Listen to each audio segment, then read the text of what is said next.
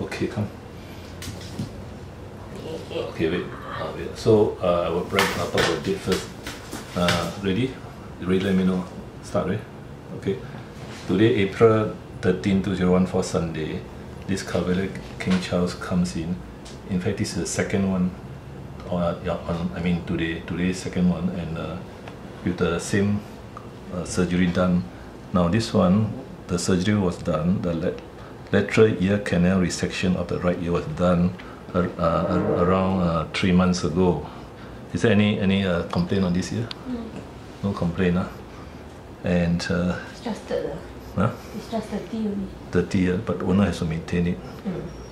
And uh, before that was very smelly, right? And the dog was scratching it a lot.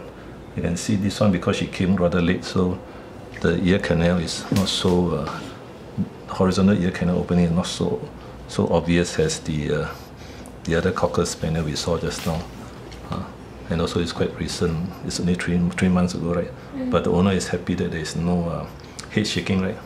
No smelly ears. The main complaint was smelly ears. So I'm just saying about the coincidence that the same breed. Earlier on, we videoed the cocker spaniel uh, operated three years ago with no problem. Okay, now she said that the left ear, left ear, you can see swelling, inflammation, and uh, a clog up opening of the vertical canal. That is because uh, of the infection and the scratching. The, the vertical canal is swollen, so you can't see the opening. Normally, you can see the opening. Uh, due to swelling, you can't see. So, what the owner wanted was to do a similar surgery. But I told her that it's very difficult to do any surgery now because, as you can see, it's fully swollen uh, and it's painful and inflamed. So the best time to do surgery is about one week later. And uh, at the moment, if you do surgery, it won't be very good results. Uh, the whole whole, whole uh, area will be badly inflamed and stitch will break down. So today I'm going to give anti-inflammatory injection and and the, huh? Uh, and the owner will clean the ears and give antibiotics. It's very, it's very painful. So this dog is really distressed actually. You see, it's very distressed. See the leg. You see the leg. And then the reaction. I just want to show the reaction of the of the ear ear pain, ear infection. Okay, as far so you see the other ear. You should not have this reflex if the if the ear is not itchy. So we will show.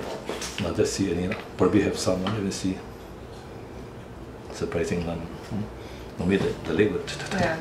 but since the ear has no itchiness or pain, you see the ear is quite relaxed. I mean the leg, you can see because the hand is your hand is blocking her actually. So, so that's why my theory is that that uh, when the dog keeps on doing this, actually it's a it's a ear infection because as you can see from this dog with the lateral ear canal resection, uh, we will test test my theory. They test my theory, and uh, by by by by just rubbing the ear, and you can see that uh, there's not, not much on a bit maybe, but nothing significant as compared to the as compared to the other side. Now the other side, I just touch a bit only. I touch touch a bit only, then the dog will. You see the reaction. So this this is a simple observation to show that many owners think that is due to infection of the flanks and elsewhere. And then in this case, because it's recent, uh, so the dog didn't scratch the neck. Or it did, it did scratch a bit. Uh. No, this one was caused by the, the previous neck collar. Uh, it, did, it didn't do, I mean there's not much damage to the neck or the elbow. Okay, so, so uh, let's see.